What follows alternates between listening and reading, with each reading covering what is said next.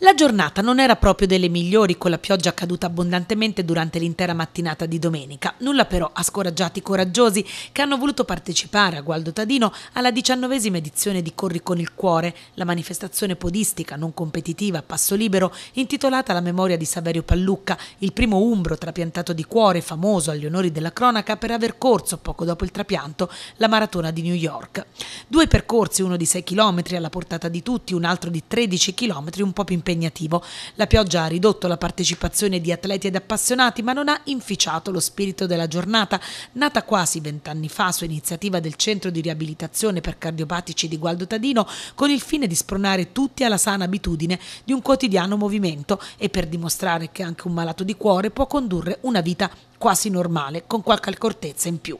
Al via erano presenti, oltre al presidente dell'Associazione Cardiopatici Carlo Crocetti, il sindaco di Gualdo Tadino Massimiliano Presciutti e il cardiologo Odoardo Regni. Per la cronaca, sulla distanza dei 6 km, i primi arrivati sono stati Erminio Pezzopane ed Elania Busco. Per i 13 km, i primi classificati Marco Panfili e Gianna Bossi. Tra i gruppi il maggior numero di iscritti va segnalato il primo classificato con il gruppo atletica Taino di Gualdo Tadino che si aggiudica il trofeo Saverio Pallucca, secondo classificato gruppo Proloco Biancospino, terzo classificato gruppo Passeggiando su Gualdo, quarto classificato gruppo New York.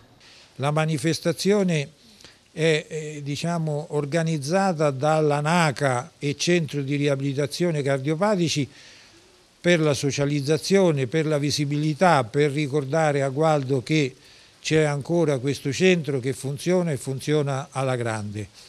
E purtroppo il tempo non ci aiuta ma noi continueremo a lavorare e sperando nel futuro migliore.